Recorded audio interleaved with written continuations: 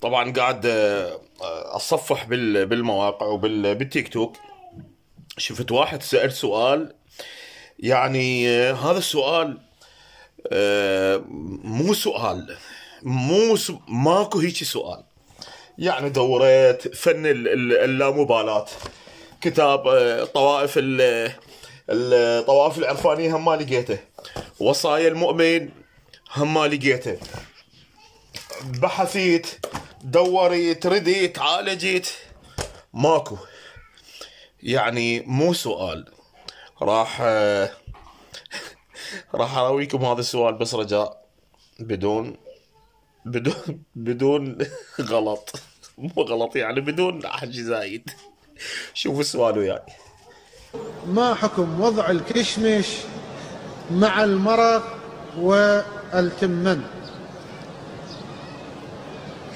إذا واحد المرأة مثلا أو الرجل يخلي الكشمش في المطبوخات يخلي وي المرق مثلا وي المحشي وي التمن. يغلي بالنار يغلي. لك لك لك هذا هذا هل هذا هذا عد عقل اللي لا؟ نعم سؤال. طاهر. يعني ما ما حكم من يوضع ال- الكشميش على التمه أخ أبويا بطني.